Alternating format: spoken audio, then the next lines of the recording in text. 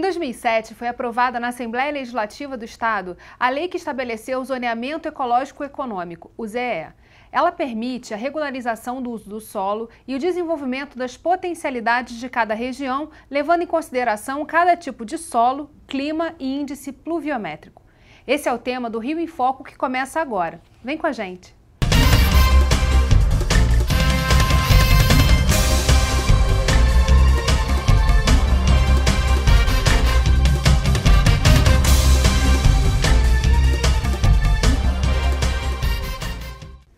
Foco recebe o Superintendente de Planejamento Ambiental e Gestão Ecossistêmica da Secretaria de Estado do Ambiente, João Batista, e o assessor da Federação da Agricultura, Leopoldo Hertal. A Lei de Zoneamento Ecológico Econômico possui três fases. A primeira delas é o diagnóstico, ou seja, como está a atual situação do Estado. A segunda é o prognóstico, quais são as vocações para cada área e aptidões econômicas. E por último, o plano de gestão, que é colocar em prática tudo o que foi estudado e definido. O Rio levou nove anos para concluir apenas a primeira etapa desse processo. Vamos ver o que o engenheiro florestal e diretor da Conservação Internacional, Beto Mesquita, falou sobre o assunto. Há quatro anos atrás, quando foi aprovado a nova lei do Código Florestal, em 2012, é, esta lei ratificou a necessidade que os estados fizessem o seu zoneamento ecológico econômico. O quadro que a gente tem hoje, passado esses 35 anos desde a da primeira exigência, é que dos, das 27 unidades da federação, nós temos hoje 17 que já têm o seu zoneamento ecológico econômico pronto.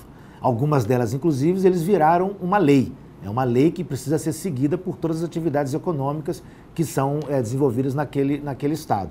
E 10 ainda estão pelo caminho, em diferentes estágios, alguns já bem avançados, outros ainda muito atrás, no início ainda do, do, do processo, organizando o seu zoneamento. Desses 10, o Rio de Janeiro é um dos que está mais atrasado.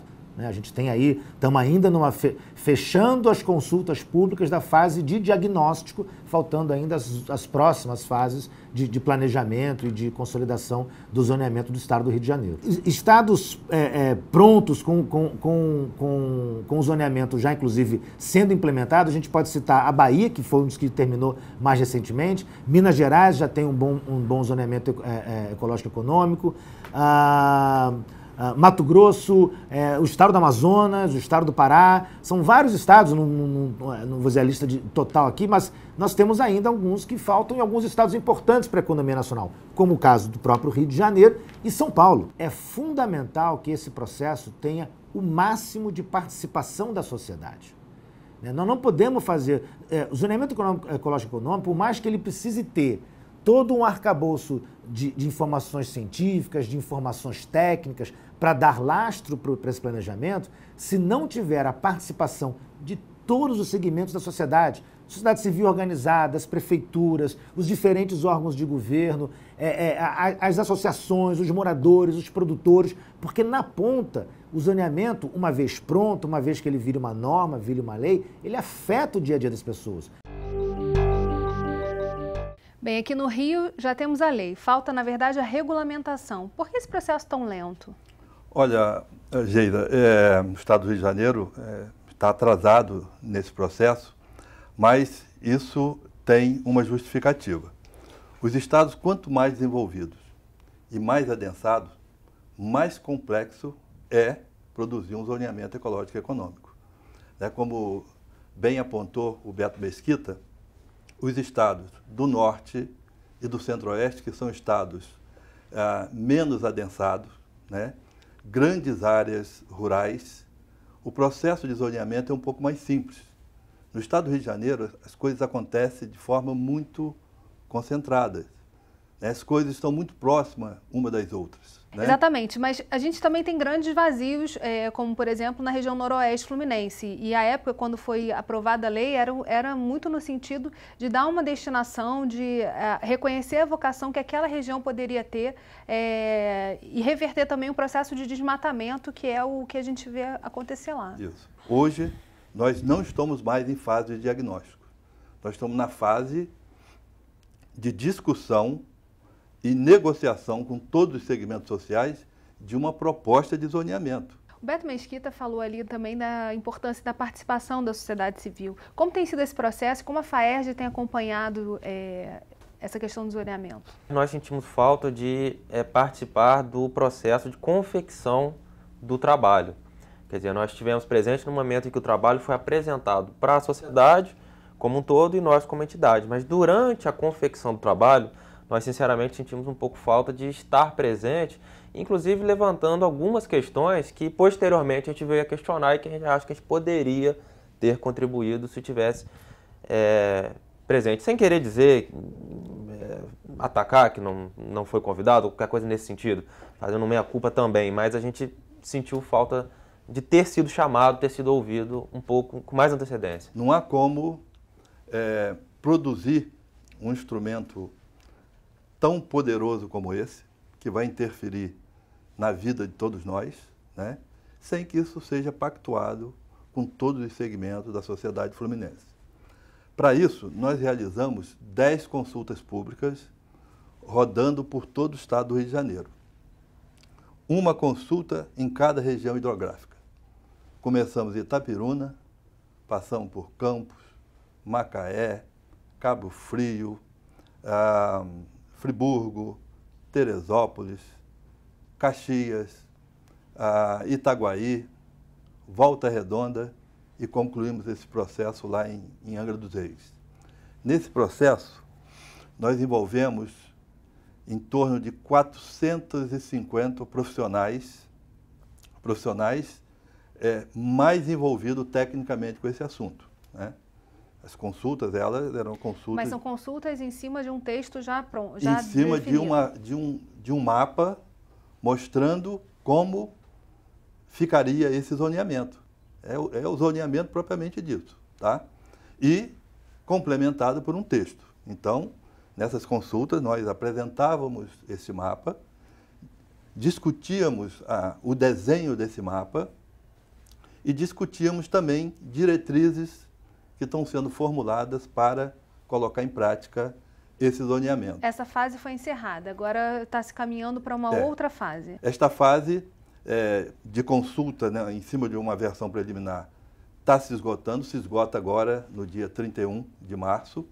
A partir daí, nós vamos produzir uma versão melhorada, incorporando todas essas contribuições resultantes dessas consultas, e aí nós vamos ter uma versão que esperamos seja uma versão muito próxima daquela que vai integrar o zoneamento ecológico na sua concepção final. A gente vai fazer um rápido intervalo e voltamos já. Rio em Foco aqui, política e economia caminham juntas.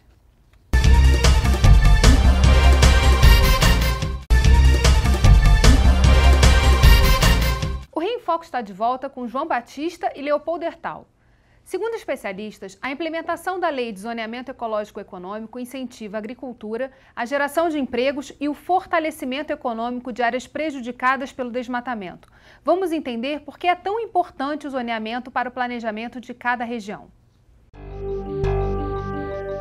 No caso de um, de um Estado, do planejamento, do zoneamento para o Estado, era preciso que se tivesse uma base bem conhecida das vocações, dos atributos naturais, das vocações econômicas, culturais, sociais do Estado, para planejar o desenvolvimento daquele Estado. Se a gente quer falar em desenvolvimento sustentável, é fundamental que a gente tenha como base desse desenvolvimento a ferramenta do zoneamento ecológico e econômico. Mas nós não temos essa cultura de planejamento. E eu acho que tem um fator político e econômico também. Enquanto eu não tenho as regras muito claramente estabelecidas, é mais vantajoso negociar caso a caso. Isso deixa brechas para que empreendimentos, para que atividades econômicas públicas e privadas sejam implementadas é, sem ter um lastro mais robusto de se aquela local, se aquela localidade, se aquela região é a mais adequada ou não para aquele tipo de atividade ou empreendimento que se quer implementar. O Rio de Janeiro é um estado que ele, ele originalmente, ele, quase 100% dele foi coberto por florestas. E isso já dá uma pista de qual poderia ser a grande vocação do estado. Né? Seja a parte de proteção, proteção das florestas para o que a gente chama de serviços ecossistêmicos, a produção de água, a qualidade da água, proteção das bacias hidrográficas, proteção dos rios, das nascentes, essa é uma vocação clara do Estado do Rio de Janeiro, seja também a sua vocação para a própria produção florestal. Então, a consequência de não ter um zoneamento é não ter segurança jurídica para atrair os investimentos necessários para aproveitar melhor essas áreas. Fazer com que essas áreas hoje, que estão marginalizadas do ponto de vista de produção econômica, possam é, é, é, expressar o seu valor e o seu, a, o seu, a sua vocação natural. Leopoldo, no bloco anterior você falou de algumas críticas a esse projeto que está correndo o Estado é, em, em, audiências públicas. Quais são esses pontos que a FAERJ observou? Bom, fundamentalmente, é, a gente acredita que o zoneamento ele não deve ser impositivo. Ele deve ser um documento que norteie as políticas públicas, norteie os investimentos, mas ele não, é, que não traga de forma impositiva, não traga imposições ao empreendedor. Ele não impeça que a livre iniciativa faça investimento em determinado lugar e que no caso da área rural, o produtor que lá produz é, passe a ser considerado, é, tem a sua atividade considerada como sendo inapta ou inadequada, ou venham mais restrições que as já impostas no novo Código Florestal à sua atividade. Basicamente é essa a, a, a nossa crítica. A entidade ela não é contra um zoneamento, muito pelo contrário. Seria muito bom que a gente tivesse uma região metropolitana menos inchada demograficamente, que a gente tivesse mais investimentos no interior. A gente concorda com tudo isso, mas a gente entende que o caminho para isso são incentivos fiscais, são políticas públicas setoriais específicas. Não é por meio de uma lei, um zoneamento é, impositivo, que essa realidade irá se transformar. Mas o zoneamento, na verdade, é, uma, é, um, é um, uma, um instrumento de planejamento do Estado para definir quais são as vocações e onde o Estado é, tem força e pode ser, pode ser é, pensar em investir. Quer dizer, na verdade, é, é a ideia de o Estado poder abrir lá o seu mapa e dizer aqui, esse, esse empreendimento que está sendo trazido é importante pra, e, e é melhor ser colocado em determinada região que não em outra. O licenciador, ao fornecer uma licença ambiental, terá que continuar observando tudo que ele já observa. O novo Código Florestal, o zoneamento é, municipal, é, qualquer lei estaduais, portarias, decretos, resoluções CONEMA, INEA, resoluções CERRI. Então, é, por mais que o zoneamento indique ali a favorabilidade de determinada atividade, o licenciador terá que continuar observando tudo que ele observa. O zoneamento só será um documento a mais. Qualquer um que estiver interessado em opinar sobre zoneamento, é só digitar, fazer uma pesquisa ZERJ, que vai aparecer o link né, para esse site, onde todas essas informações estão lá à disposição do público. O ZE, ele não trará imposições adicionais, né, é, a não ser em casos estritamente necessários. Na realidade, é, hoje a gente já dispõe de um amplo acervo legal, né, que já regula né, a forma de uso e aproveitamento dos recursos naturais. O ZE vem muito mais para apontar potencialidades e novas oportunidades e do que para restringir. Eu vou te dar um exemplo. Recentemente foi baixado um decreto, já resultado dos estudos produzidos no âmbito do zoneamento ecológico e econômico, identificando as áreas prioritárias para desenvolvimento da silvicultura econômica. Essas são cinco áreas, três delas localizadas no norte e noroeste fluminense, que são exatamente as áreas mais desprovidas de vegetação nativa, as áreas mais degradadas e as áreas com menor é, índice com a menor contribuição ao produto interno bruto do Estado. Ah, tem uma, são três áreas lá, uma área no, no, na região serrana e uma, e, é, e uma quinta área no Médio Paraíba. Essas áreas, elas somam em torno de, total, em torno de 630 mil hectares de áreas degradadas, sem florestas, pastagens com baixo nível de produção, de produtividade, e que poderão é, ser incorporadas ao processo produtivo através da prática da silvicultura. O Estado hoje, é um dado importante, o Estado do Rio de Janeiro hoje ah, importa 90% de insumos madeireiros de outros estados. enquanto que o Estado tem muitas áreas livres, isso identificado no âmbito do zoneamento, e que poderiam estar sendo utilizados para essa atividade. Mas porque existia também um zoneamento que ainda não saía, sem estar definido que é a vocação daquela área, Exatamente. provavelmente o empreendedor não, fa não faria o investimento com medo de, daquela, de repente, vir uma, um novo, uma nova determinação e dizer, não, ali não pode plantar, por exemplo, seringueira, uhum. ou ali não pode plantar, enfim, eucalipto, enfim. O zoneamento ecológico econômico, de uma maneira genérica, define três grandes categorias de zonas as zonas de produção, as zonas de suporte ambiental, que são as amarelas, e as zonas institucionais. A zona de produção são aquelas zonas onde a atividade econômica já vem se desenvolvendo, pode continuar se desenvolvendo e até se expandir, porque tem potencial né, e tem pouca restrição ambiental a continuidade dessa atividade. As amarelas. Essas amarelas são aquelas áreas mais frágeis, que podem continuar produzindo, que estão produzindo, podem continuar produzindo, mas precisam de cuidados especiais. Por exemplo, a região serrana. Essa atividade pode continuar se desenvolvendo ali, mas vai precisar adotar técnicas e procedimentos mais conservacionista. Que, na verdade, a crítica é feita justamente por, pelo, pelo custo que isso pode vir a gerar, é isso? Quem vai arcar é, com a implementação dessas tecnologias mais conservacionistas sobre a propriedade rural? O produtor rural. E que medidas são essas, objetivamente? Não se sabe.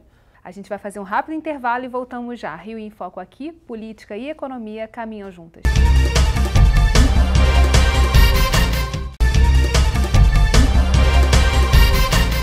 Nesse programa, estamos vendo como é importante a participação da sociedade para a execução da Lei de Zoneamento Ecológico Econômico do Estado.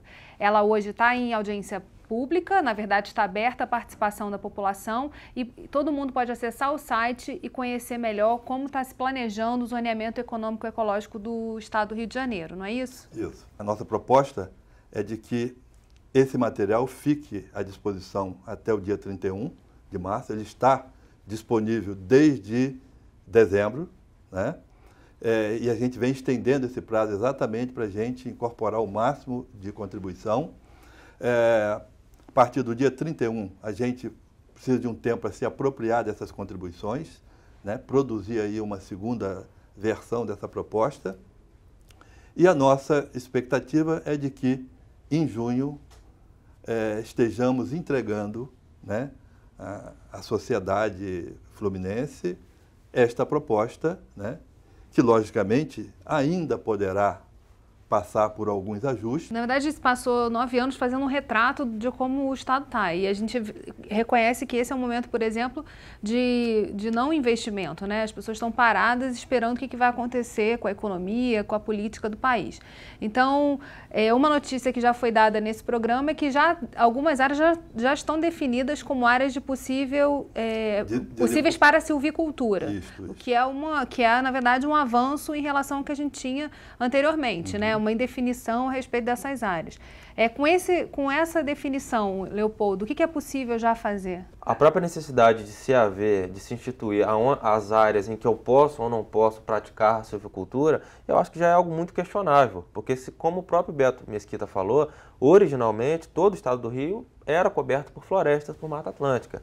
É, existem condições naturais propícias para o plantio de árvores comerciais em praticamente todo o estado do Rio.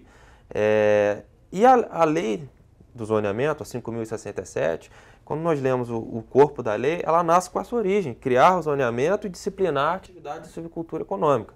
O que me parece um pouco dúbio, quer dizer, é, por que, que o Estado tem que dizer aonde eu posso ou não posso plantar árvores? Quer dizer, nós tivemos manifestações que questionaram a corrupção, muitos problemas, os, a qualidade dos serviços públicos, mas questionou também a, o nível de intervenção do Estado na vida, na iniciativa privada. Então nós pensamos isso e, e, e, e, muito disso, sem dúvida nenhuma, advém de um preconceito contra o eucalipto, a questão do deserto verde, o mito de que o eucalipto drena o terreno, seca o solo. Mas é, essa restrição para a silvicultura atinge também espécies como o mogno africano, o cedro australiano, a seringueira, que são espécies de ciclo longo, é, perenes e que são até mais benéficas ambientalmente do que as práticas atualmente presentes. Então, é, o nosso questionamento é esse. Num momento de crise e que se fala em baixos investimentos, nós não cobramos do Estado investimentos pesados, assistência técnica. Mas talvez se ele criar condições mais favoráveis, um ambiente mais saudável para que as pessoas invistam e se formalizem, a gente pensa que isso dinamiza a economia e, e traz é, é benefícios para todos os aspectos, social, econômico e ambiental. A silvicultura econômica hoje pode ser praticada em várias regiões do estado, que já tem um estudo mostrando a favorabilidade do solo para esse tipo de atividade. Nos distritos florestais, a ideia é que ali essa atividade será estimulada e apoiada por meio de, uma, de um conjunto de políticas públicas. Então, na realidade, nós não estamos restringindo a atividade de silvicultura a essas áreas definidas como distritos florestais. O que nós estamos dizendo é o seguinte: a atividade que se instalar nessas áreas são as áreas mais propícias e são as áreas localizadas nas regiões é, digamos assim, é, com menor dinamismo econômico, essa atividade será apoiada e incentivada pelo Estado. É uma política pública para fomento e desenvolvimento dessa atividade. Agora, a atividade de silvicultura pode ser praticada fora desses polígonos. Na verdade, o Estado não está proibindo, mas ele está dizendo que ele irá é, estimular com políticas públicas as áreas que forem definidas. É Exatamente. Isso? Apoiar, fortalecer políticas públicas que tenham a capacidade de alavancar atividades econômicas, levando em consideração a potencialidade de cada região dessa. Eu tenho dito nas consultas públicas, né, eu tenho repetido isso. O ZE vem para dar mais segurança. O zoneamento ecológico e econômico não vem para trazer dificuldades adicionais. Ao contrário, vem para dar mais segurança. Agora, uma vez, uma vez é, a gente tem, só para finalizar e para a gente esclarecer quais são os próximos passos, como a gente conversou aqui, é, basicamente, a gente tem até dia 31 de março para ainda na consulta pública, depois em junho deve já ter o zoneamento em si, é isso? Isso, isso. E aí vai estar tá publicado e vai ser isso, a partir daí isso, que se pode... Exatamente. Em junho, nós, a nossa expectativa é que a gente tenha, podemos colocar né, à disposição né, de todo esse segmento o resultado de todo esse processo de trabalho e de discussão. Bem, infelizmente nosso programa chegou ao fim. Obrigada, João. Obrigada, Leopoldo. E obrigada a você que ficou com a gente até agora.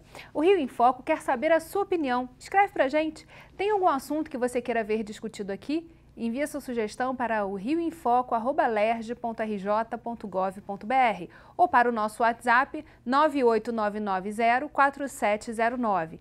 E se você gostou desse programa, pode assisti-lo novamente no site www.querodiscutirmeuestado.rj.gov.br ou pelo www.tvalerj.tv. TV Alerj, o canal do povo fluminense. Até a próxima.